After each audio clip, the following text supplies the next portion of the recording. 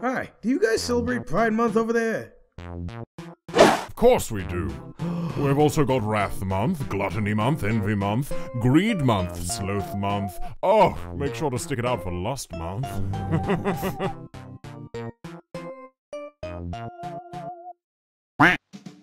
Hey, Devil and Dice, has any member of your family ever visited the casino? Anyone in my family who would have wanted to come here, first they'd have to figure out how to get out of the fiery pit they're in. So, no.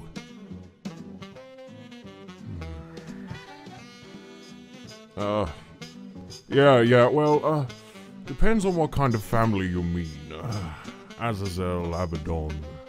Sometimes. They come by to relax a bit, maybe get a few souls, but mostly just to pester me. Uh, they, along with a bunch of other princes, will be coming over again for the party that Dice and Lilith talked me into throwing.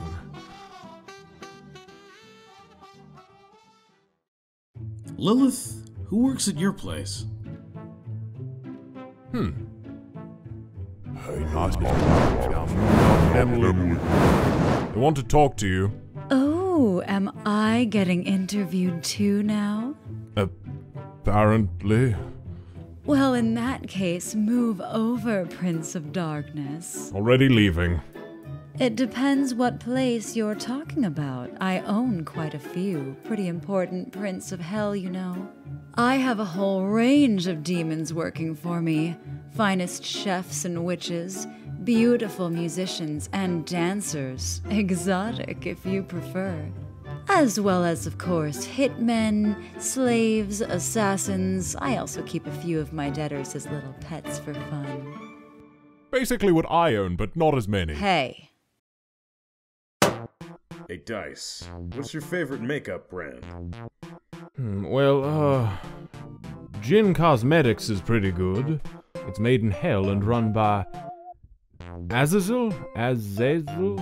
Az- oh.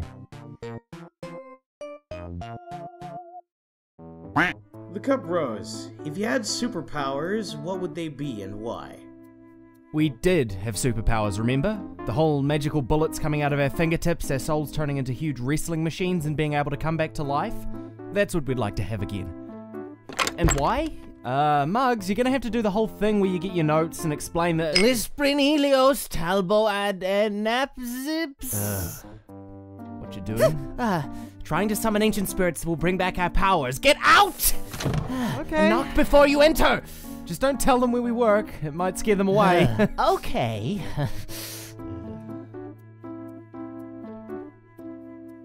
you know, flying would be a cool superpower.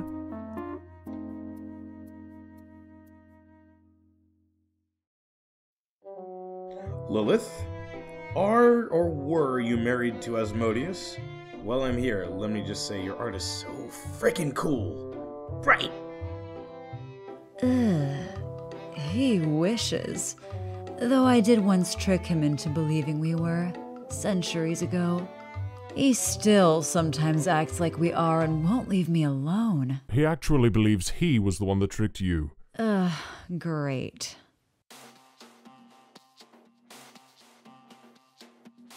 Devil, have you ever been in limbo or purgatory? Do you plan on going anytime soon? Of course.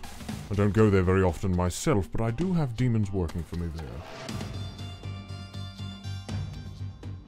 Though Purgatory is mainly a battlefield for us, uh, let's just call it private family business.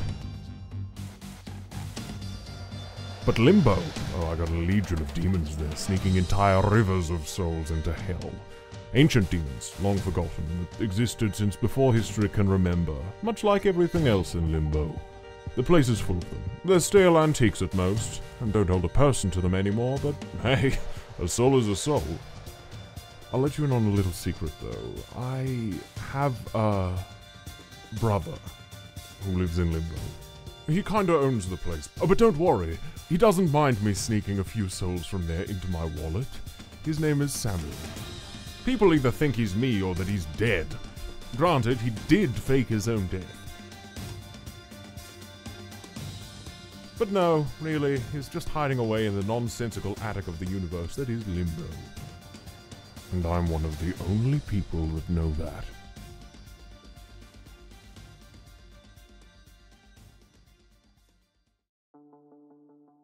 This is a question for the devil. If you were given the chance to, would you go back to being an angel? Like, all your wrongs will be pardoned and forgiven? Would you go back? I've been dying to ask this question ever since the first post about the devil being an angel. Lol. Good luck!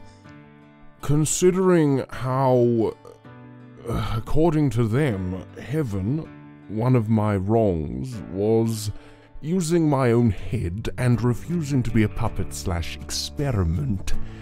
No, I don't want to go back.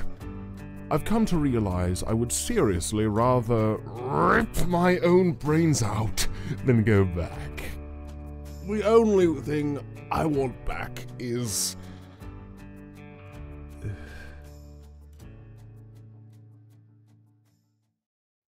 For the devil.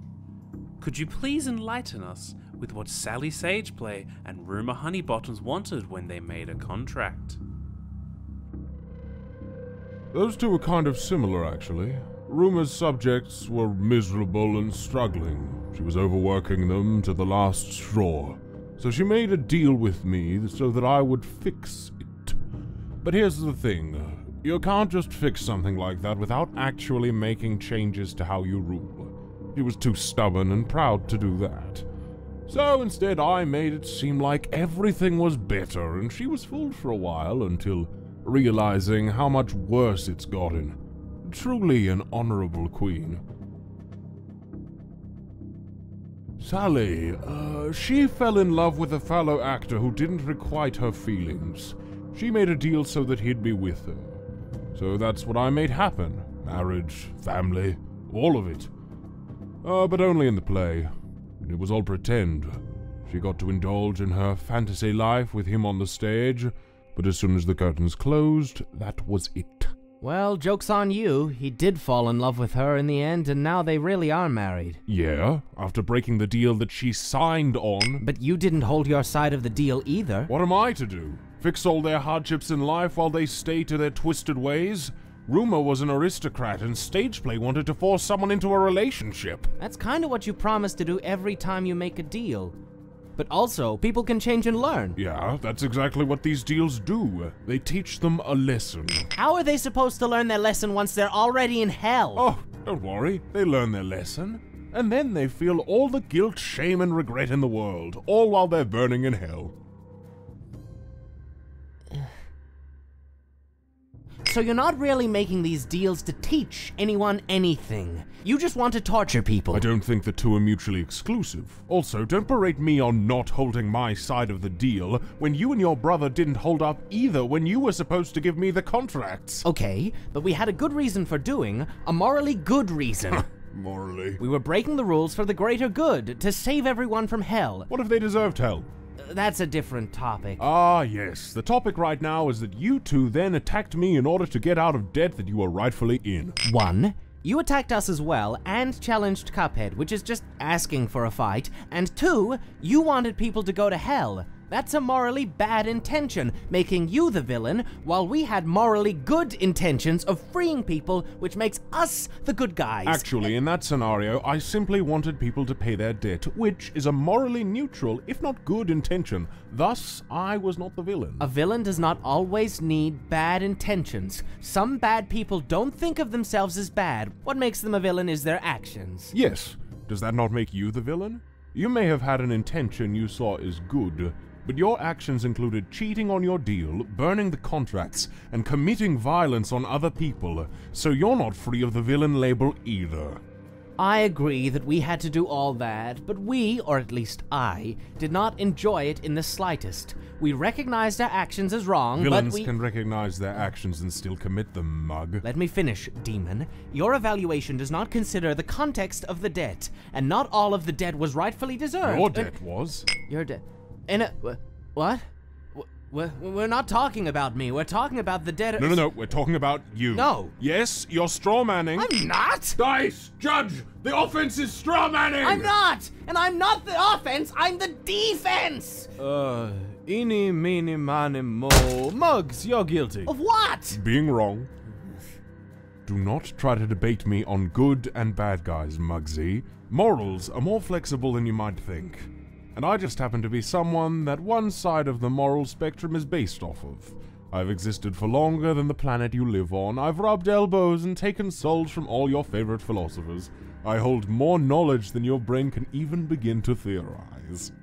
It's simply impossible for you to know all the things I know. Because you're immortal.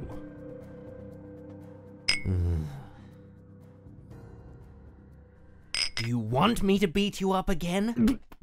So much for being on the defense. I am so confused.